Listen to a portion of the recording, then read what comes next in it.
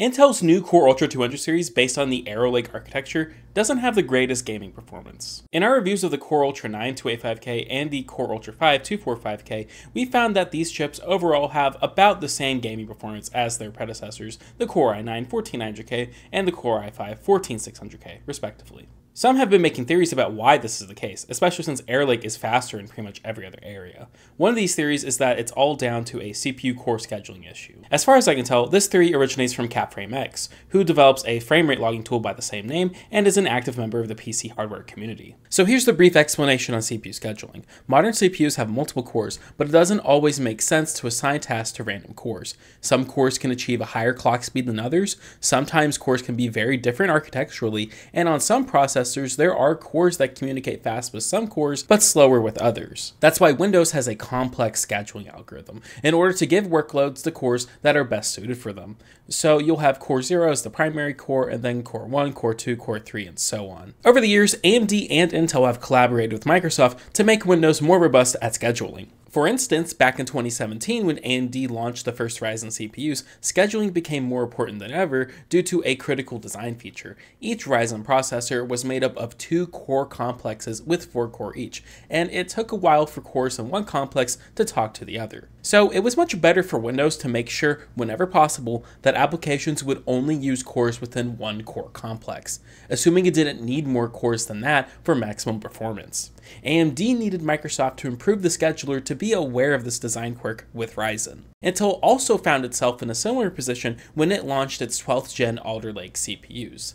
The higher end models were the first desktop chips from Intel to feature two distinct kinds of cores high performance P cores and efficiency geared E cores. Obviously, you want the P cores to be used for applications where performance matters, so sending tasks to cores at random would be a bad idea. Hence, Intel introduced Thread Director, which is supposed to make sure P cores are used first and that E cores are used last or for background tasks and for other workloads where performance isn't a big deal. So the theory goes that CPU scheduling is broken on Arrow Lake and that it's ruining performance in games. But that might be confusing since Arrow Lake has the same P-core and E-core configuration as Raptor Lake. What's so different between Arrow Lake and older processors? In this tweet, CapFrameX argues that CPU scheduling was broken by putting the E-core clusters in between the P-cores. Here's how they look on the top-end Arrow Lake die with 8 P-cores and 16 E-cores. Now, this is what it looked like on the top end Alder Lake die, with P cores on one side and E cores on the other. And this is Raptor Lake for the top end 13th and 14th gen models, which similarly has the P cores in their own corner and the E cores in their own. On Alder Lake and Raptor Lake, the order of the cores always went through all the P cores before reaching E cores. So in the case of the 14900K, cores 0 to 7 were the P cores, and then 8 to 23 were the E cores. Windows sees that you're trying to run a game or some kind of other performance focused app, it's going to populate cores 0 to 7 first, and maybe even refuse to use other cores which are the E cores, if it thinks it'll reduce performance. But on Arrow Lake, if you're counting from the top down, cores 0 and 1 are P cores, but then cores 2 to 9 are E cores.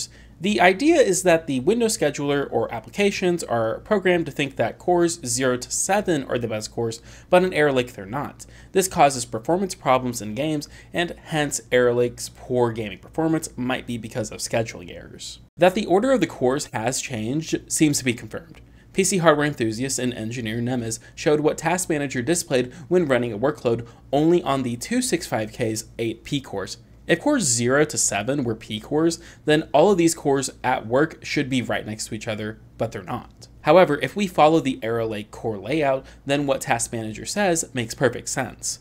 We have our first two P cores, and then we have four E cores, which are idle, and then four disabled E cores that won't show up on Task Manager, and then four P cores, and then eight idle E cores, and then finally the last two P cores. But does this really mean that Arrow Lake's gaming performance is reduced due to faulty CPU scheduling? Personally, I was a bit skeptical when I read this, especially since the numerical ordering of the cores doesn't seem like a complicated thing for Windows to deal with. So I decided to put this theory to the test by benchmarking my 285K and 245K with all the E-cores disabled. This means that Windows can't possibly screw up and give an important task to any of the E-cores since they're all turned off.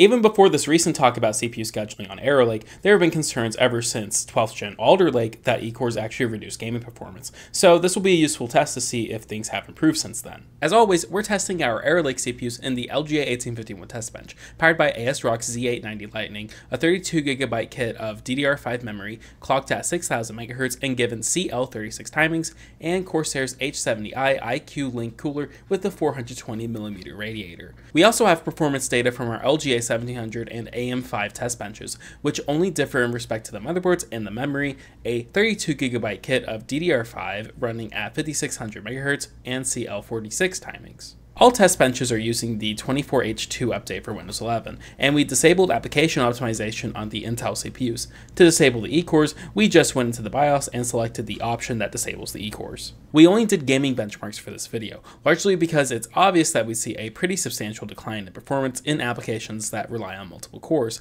like Cinebench 2024. So this will be a little shorter than usual. Anyways, let's have a look at the results. Starting off with Total War 3 Kingdoms at 1080p, we can see that disabling the E-cores does improve performance on the 285K by a decent amount, though the 245K doesn't benefit too much. With the settings cranked up, the 285K is still faster without those E-cores, but the 245K loses quite a few frames in the 99th percentile, and it's the worst performing CPU. Disabling E-cores in Counter-Strike 2 at 1080p doesn't seem to really do much for performance. This is a somewhat inconsistent game to benchmark, so don't read too much into how the 245K performed with and without E-cores. It's a wash at 1440p as well, unsurprisingly. In Civilization 6, we can see that disabling the E-cores was a big mistake. The 285K was the fastest CPU with E-cores enabled, but it dropped significantly after we turned them off. Similarly, the 245K went from third to last and performed way worse than even the 14600K. It's basically the same story at 1440p, even though the GPU was more of a bottleneck than before. City Skylines 2 is also a game where turning off E-cores is a bad idea. The 285K and 245K performed decently with them enabled, but are firmly in last place without them at 1080p. The 285K can sort of hang in there at 1440p even with disabled E-cores, but it's all over for the 245K, which had a very poor frame rate in both the average and the 99th percentile. Disabling E-cores seems to help the 245K a little in Dota 2 at 1080p, but it does nothing for the 285K. At 1440p, there's hardly any difference whether the E-cores are on or off, even for the 245K. The 285K doesn't seem to perform any differently in Dirt 5 whether it has E-cores or not, but the 245K seems to lose a bit of performance when they're disabled. At 1440p with the ultra high preset, it becomes GPU bottlenecked and so all CPUs perform pretty much the same. Benchmarks in Minecraft can be fairly inconsistent, so while we do see the 245K gaining performance after turning off E-cores, it's hard to say if we're looking at a genuine performance boost or if it's just noise.